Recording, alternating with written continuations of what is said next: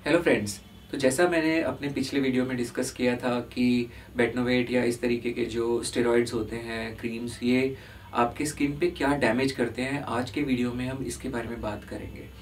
तो जब भी आप ये स्टेरॉइड्स लगाते हैं तो इन्फ्लेमेशन कम होने से कोई भी पिगमेंटेशन कम हो जाता है, रंग गोरा हो जाता है बट जब आप इसे छोड़ेंगे तो आप देखेंगे कि आपकी स्किन डार्क हो गई है, जो भी मिलाजमा या पिगमेंटेशन आपको था, वो और ज़्यादा ख़राब दिख रहा है, और ज़्यादा काला हो गया है।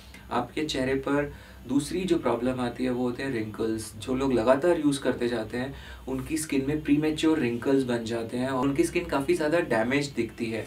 तीसरा एक और प्रॉब्लम आता है कि हेयर की ग्रोथ आ जाती है स्टेरॉयड एप्लीकेशन की वजह से। फेशियल हेयर फीमेल्स में ख़ास तौर से बहुत ज़्यादा ख़राब लगता है।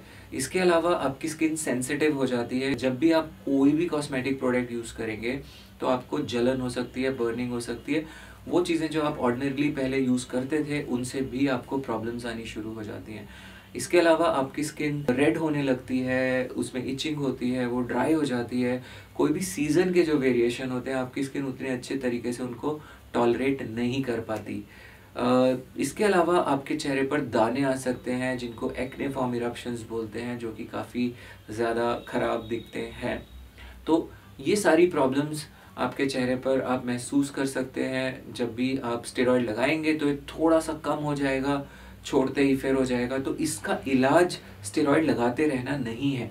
तो क्या है इसका इलाज? ये हम अपने सब्सिक्वेंट वीडियोस में बात करेंगे। और क्या इम्पोर्टेंट होता है? क्या की फैक्टर्स हैं जो इस इलाज में आपकी मदद करने वाले हैं? तो मेरी सलाह यही रहेगी कि आप अपने आप से कभी भी इस तरीके की दवाएँ बिल्कुल यूज़ ना करें। आपकी फैमिली में या आपके फ्रेंड्स में अगर कोई ये यूज़ कर रहा है, या वो लोग जिन्होंने आपको ये दवाइयाँ सजेस्ट की, आप उनसे वीडियो ज़रूर शेयर कीजिएगा। इस तरीके के और वीडियोस और जानकारी के लिए आप फॉलो करें हमारे चैनल को और ज़रूर लाइक करें। तो बहुत अच्छे से अपनी स्किन का ध्यान रखें। Thank you love yourself stay blessed